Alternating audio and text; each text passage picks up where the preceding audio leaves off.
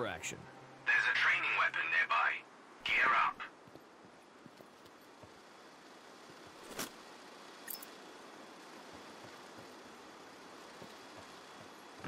Take a prone First, switch your mask to binocular mode. Now, try to mark the target over there.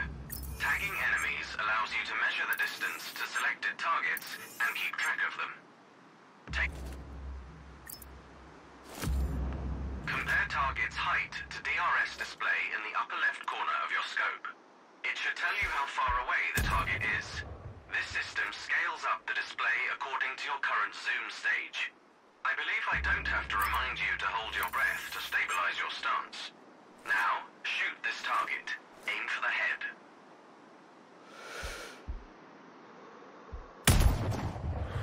Well done.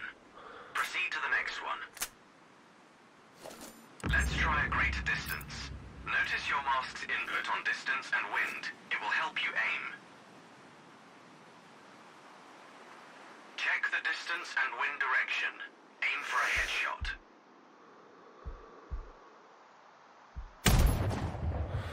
Good. You can move to the next one. It's easier to aim with your scope calibrated according to the target's distance. I've marked the distance for you. Set your scope elevation to 280.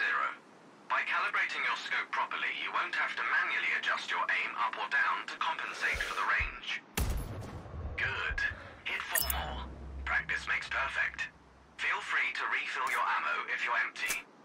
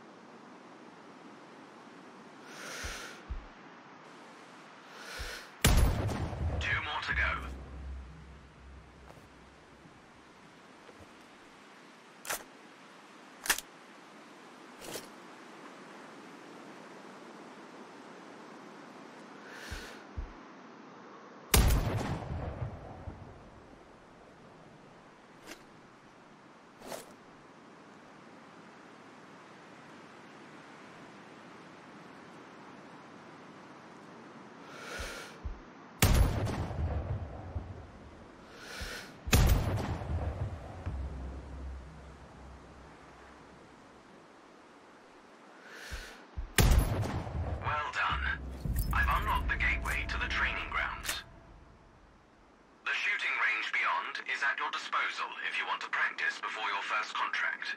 Our training facility will always be available for you should you want to polish your skills in between missions.